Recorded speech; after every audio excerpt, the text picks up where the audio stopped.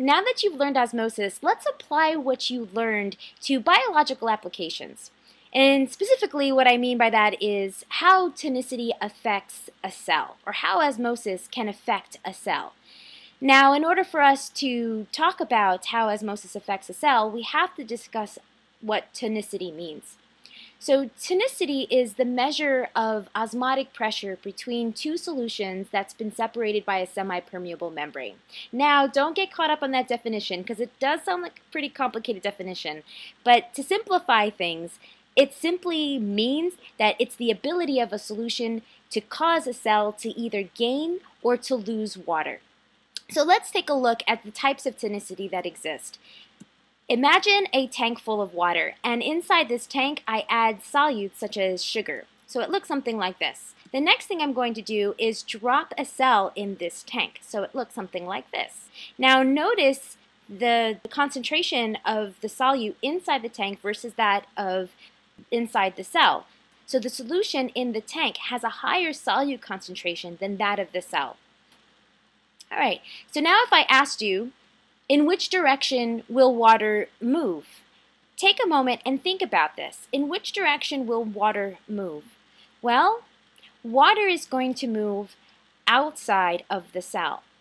Now imagine the implications of water moving outside of the cell. What do you think this is going to do to the cell itself? If water is being removed from the cell, how do you think this is going to affect the cell size? Well, the cell will shrink. So when water moves outside of the cell, it will shrink. Now, this is a situation where the solution is what's called a hypertonic solution. The prefix hyper means in excess. And the reason why it's used in this definition for this particular solution is because there is an excess amount of solutes when you compare that to the solutes found inside the cell. So now the system has reached equilibrium.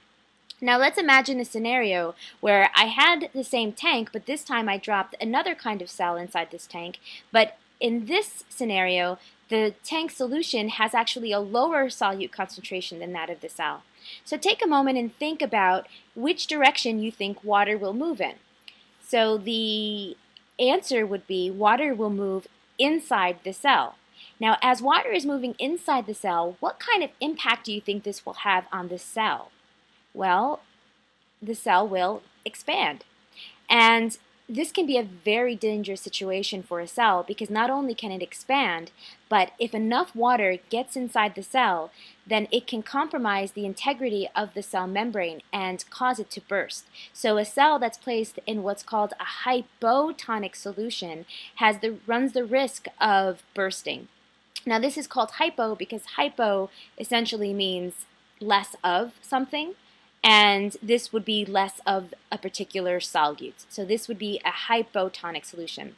Now, I came up with this myself. I'm kind of proud of this because it's helped students in the past, and I hope that it helps you. A hypotonic solution causes a cell to expand. If you can imagine a hippo, a hippo is a pretty big animal.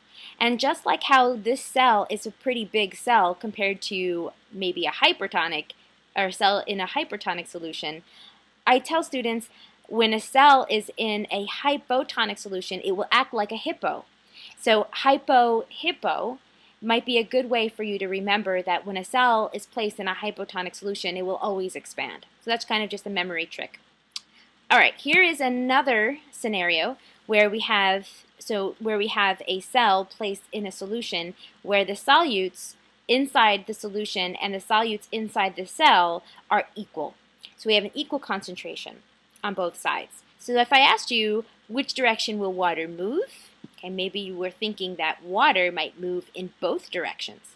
So it turns out that that's indeed the case. So water will move in and water will move out as well. So this causes the cell to stay the same as a result.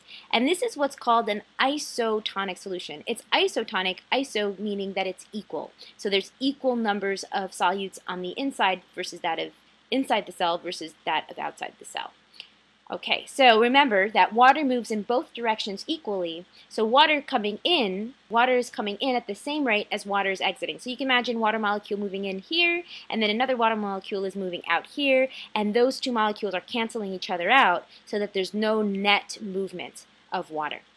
Okay, and those are all the types of tonicity. There's hypertonic, hypotonic, and isotonic, and how they affect the cell. So just remember that those three solutions are always in comparison to another kind of solution.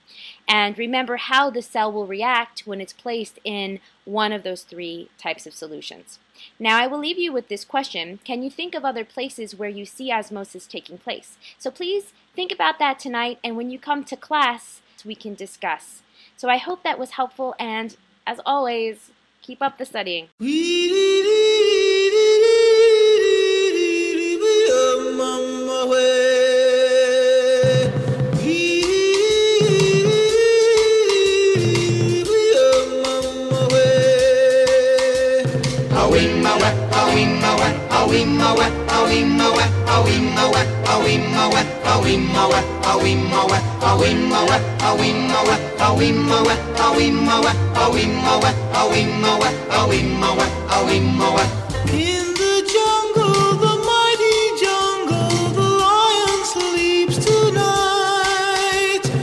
In the jungle,